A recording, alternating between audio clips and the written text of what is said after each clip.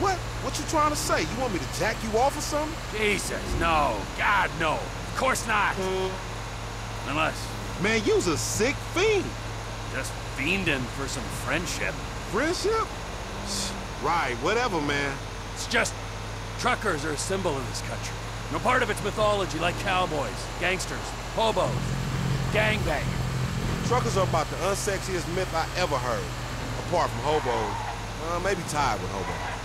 Freedom. Um, loners in the night. You know what truckers do? Cut up women and get other dudes to jack them off.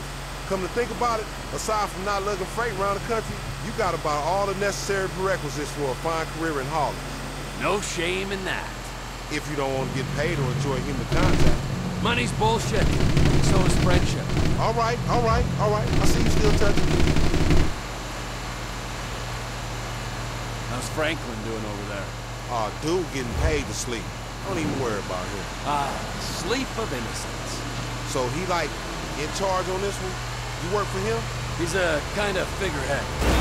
Puppet, if you like. With Devin Weston's hand up his ass. Right up to the elbow.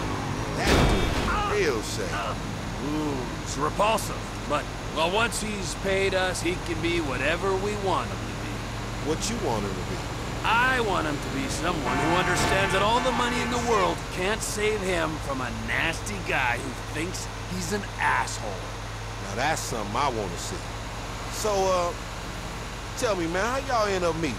Michael introduced us. Me and Frank didn't exactly travel in similar circles. Nah, I mean the creeper. Michael? Ha! I don't know. Yeah, you know. Sorry, I don't want to reminisce. Your wounds ain't healed. Oh shit, what's happening? Wake up, you dozy motherfucker. One time was on a ride. This is what happens when you fall asleep on the job. What you gonna do? Okay, shit, I got an idea. Keep driving. I'm gonna take the tricked out JB700 and get rid of the tail. Devin's lawyer said there'd be some new hardware on board. Hey, don't forget the headset, homie. They must have waited till we was out of town. Yeah, it looks like it, don't it?